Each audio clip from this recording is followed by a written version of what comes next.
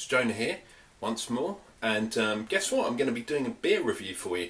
Haven't done one for a while, um, but this beer is something a little bit special. How about that?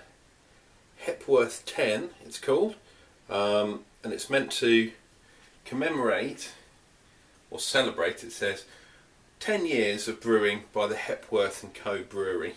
Um, they're in Horsham, down in Sussex, not too far away from me. Um, my one here is bottle, because they're all uh, limited edition special bottling. This one's 209 I've got here. Um, limited edition of 3,650 bottles. Pretty good.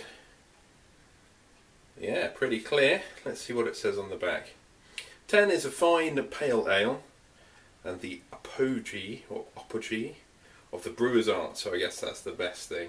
Uh, it's brewed with Golding, Admiral, and Challenger hops and golden malts um, to produce an, uh, an ale to savour and cherish. It says. Well, we'll see. I have to say, I have been saving this beer for a long time, and um, been reading some of the reviews on the uh, Beer Advocate and uh, some of the other beer sites. Beer Smith, does that have? Is that the other one? Can't remember. One of the one of the big ones anyway. Um, and a lot of people say that they were disappointed with it because it's meant to be a 10 year anniversary beer, um, and they're saying it wasn't as good. I have to say, Hepworth I really like. Um, their Christmas ale, oh my god, They've changed the recipe lately, um, and I haven't tried the new one, but the old one, oh my god, it was one of the best ales. I think it was it's either seven and a half or eight and a half percent, and that's pretty good. We're talking malt liquor sort of um, level here, guys. Um, but it was beautiful, very beautiful ale. So I'm expecting quite a lot of this. Guess what? I've also got a Hepworth glass. Um, they had this thing a while ago where they had a, uh, a triple box and it had two beers on, on either side and it had the glass in the middle which I thought was quite funky. Okay, let's go for an opening. Whoop. The cap is gold, nothing on it. Not too much smoke, not too much carbonation. Oh, smells good. Okay, let's go for a pour. We'll go for a medium pour.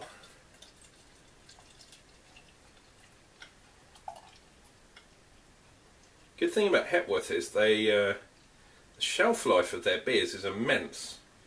I think the Christmas one it says you can store it up to like five years or something. It's outrageous. And this I got in 2012, so last year, so it should be okay. Uh, yeah, slightly past the best date, but hey. I don't really care. Look at that. Very golden. It's almost it's almost lagery. Quite good carbonation.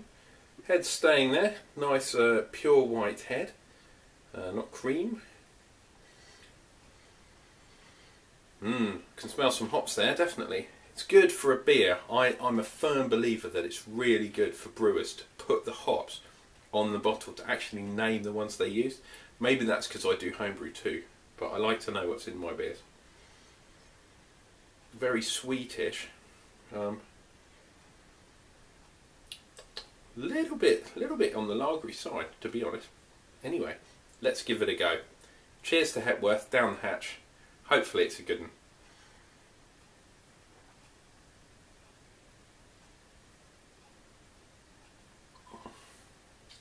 Oh, a little bit of a lagery taste, but it's a lot deeper than that. Ooh, a little bit of smokiness in the malt there. Tiny bit of fruit at the end, sort of citrusy fruit, not sort of not your your generic cascade, you know, kind of hops. Mmm, that's really nice. Uh, what's the percent? six and a half percent. Guys, you've done well. I'm loving this. Stronger beers, always good in my book.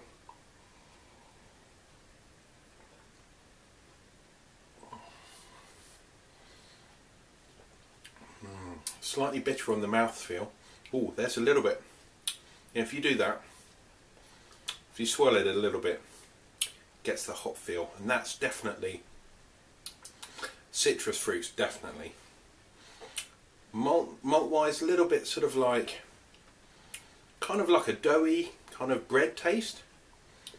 Like if you have, if you have white bread and you put it in the toaster with just butter on, mm, and it dribbles down your chin. Oh, not like crumpets, definitely like a toast.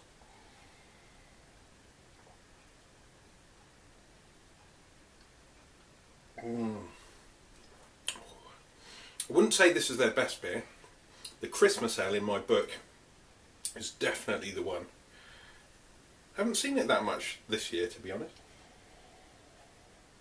Oh, lovely, lovely. But Hepworth, salute to you guys. You obviously know what you're doing.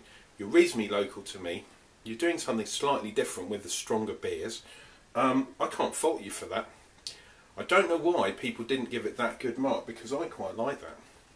Have to say, in my book, Christmas Ale is definitely my number one choice, um, but that's pretty good. Nice and bitter, quite clean, crisp, more flavour than a generic lager. What more can I say? You've done well there, boys.